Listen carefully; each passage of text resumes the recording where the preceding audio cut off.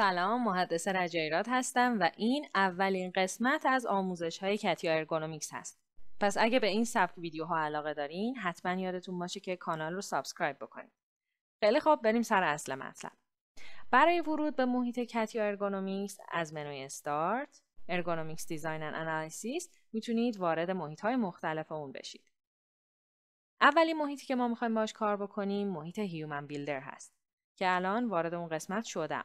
ولی حالا یه بار دیگه روش کلیک می‌کنیم اول از هر چیز برای ایجاد مدل انسان یا manikin توی این قسمت Insert New Manikin کلیک می‌کنیم ابتدا باید father product رو انتخاب بکنیم اینجا من product دو رو دارم انتخاب می‌کنم به این صورت می‌تونیم اینجا اسم اون رو تغییر بدیم و یا به صورت پیش‌فرض خود نرم افزار manikin یک، دو، سه و به این ترتیب نامگذاری می‌کنه. از اینجا می‌تونیم جنسیت اون رو تغییر بدیم. همچنین percentile در واقع درصد ملیت اون رو نشون میده که قابل تغییر هست. توی tab optional می‌تونید ملیت اون رو American، Canadian و به این صورت ایجاد بکنید. همچنین می‌تونید انتخاب بکنید که یک مدل کامل داشته باشین، whole body باشه یعنی کل بدن باشه و یا اینکه side دست راست یا side دست چپ باشه. ضمنا این قسمت یعنی referential در واقع نقطه مرجعی هستش که مدلتون رو باهاش ایجاد می‌کنید که می‌تونید اون رو تغییر بدید.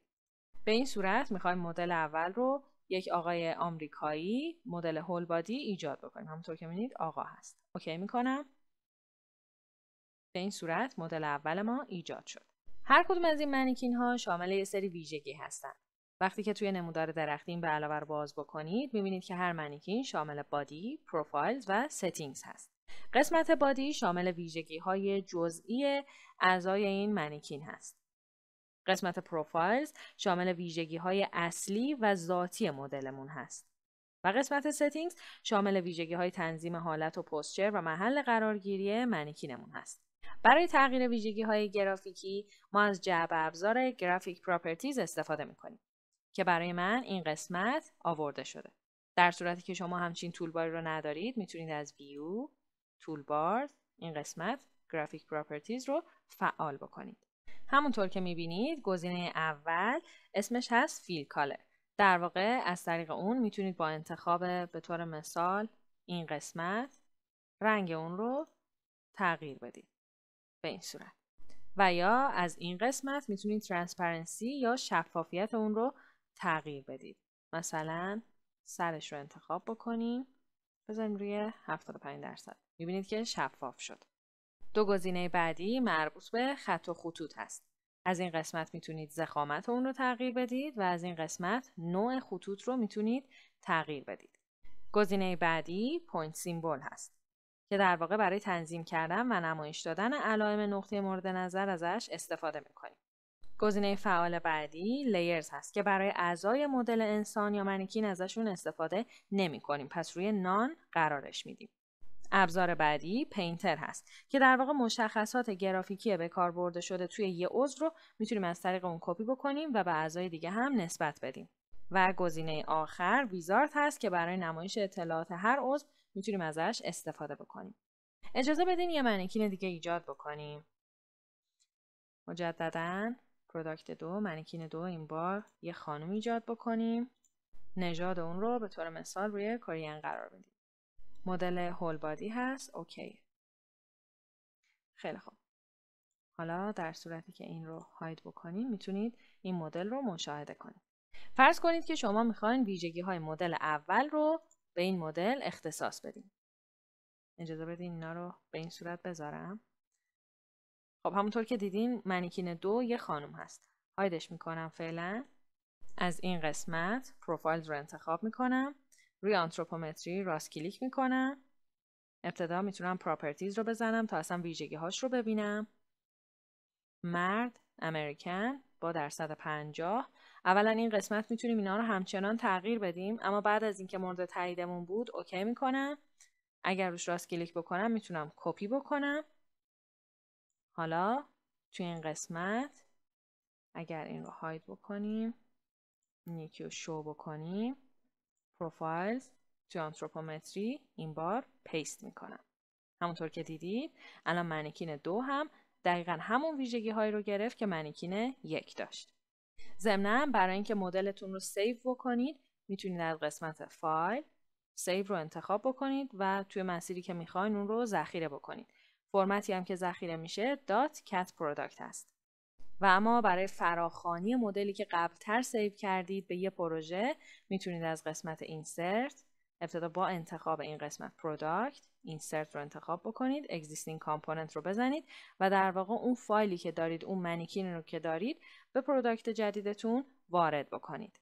برای تغییر ویژگی های graphic manikin دو تا راه داریم. یکی اینکه این قسمت body رو باز بکنیم به طور مثال head رو انتخاب بکنیم راست click properties و از این قسمت می‌تونیم اون رو تغییر بدیم. و یا اینکه به طور کلی خود manikin رو انتخاب بکنیم راست click properties رو انتخاب بکنیم.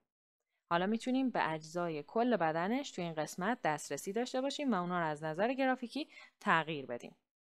توی این پنجره توی tab appearance همونطور که می‌بینید یه قسمت توی این پنجره توی tab appearance همونطور که می‌بینید یه قسمت هست به نام surface color که در واقع رنگ سطوح رو می‌تونیم از طریق اون تغییر بدیم.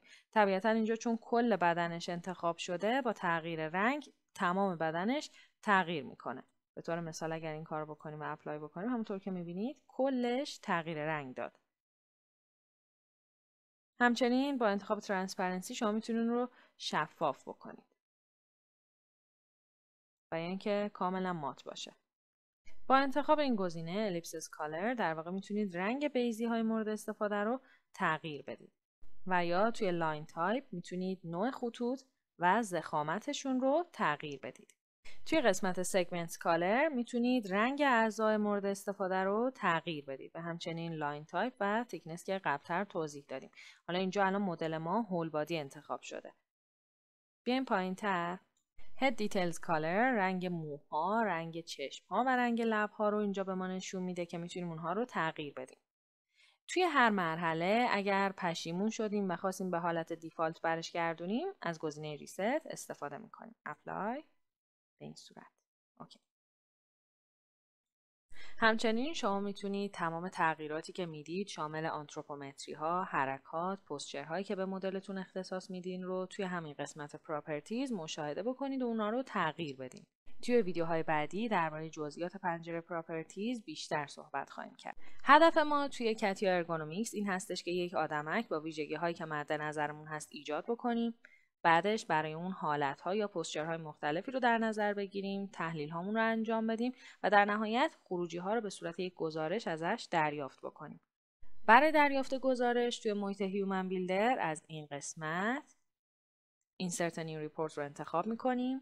بعد یکی از manikin ها که من این قسمت به طور مثال manikin دو رو انتخاب می‌کنم.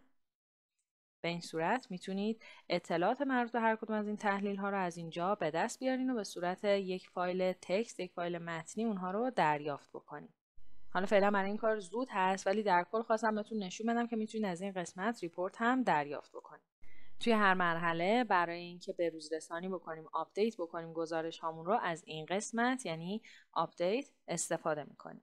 و اما برای اینکه به روز رسانی حین تحلیل هامون انجام بشه از این روش یعنی tools options توی این قسمت ergonomic design human builder رو انتخاب می‌کنیم. توی tab update اون رو روی حالت اتوماتیک قرار میدیم. در واقع اینجوری همینطور که داریم تحلیل هامون رو انجام میدیم آنالیز می‌کنیم خود گزارش ها update میشن به صورت اتوماتیک و در صورت که روی manual باشه شما هر بار باید این رو کلیک بکنید. OK می‌کنم. توی قسمت بعدی درباره حرکات و posture های مدل توی محیط Human Builder بیشتر صحبت می‌کنیم. همچنین به center of gravity یا مرکز ثقل مدلمون می‌پردازیم و اینکه می‌بینیم چطور می‌تونیم یه شیئی رو به مدلمون اضافه بکنیم یا اینکه اون رو ازش جدا بکنیم. بنابراین حتما حتما یادتون باشه که این ویدیو رو like بکنید کانال رو subscribe بکنید و منتظر ویدیوی بعدی باشید اگه توی هر قسمتی سوالی داشتید حتما توی کامنت ها بپرسید تا بتونم بهتون جواب بدم. ضمنا می‌دونید که می‌تونید از طریق ایمیل با من در ارتباط باشید.